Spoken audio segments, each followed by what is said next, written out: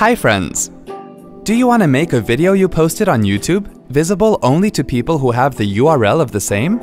You need to change the privacy setting from public to unlisted to do so. Here are the steps. Open a web browser. Type www.youtube.com in the address bar and then press the Enter key. Click on the Sign In button and then sign in with your Google account. Click on the YouTube menu and then click on My Channel.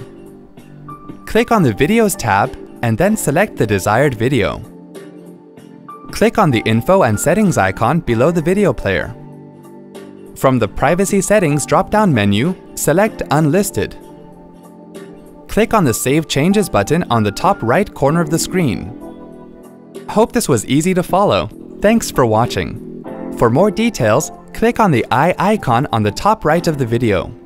Check out our iYogi channel for self-help videos on Windows, Mac, smartphones, security, social media, and much more.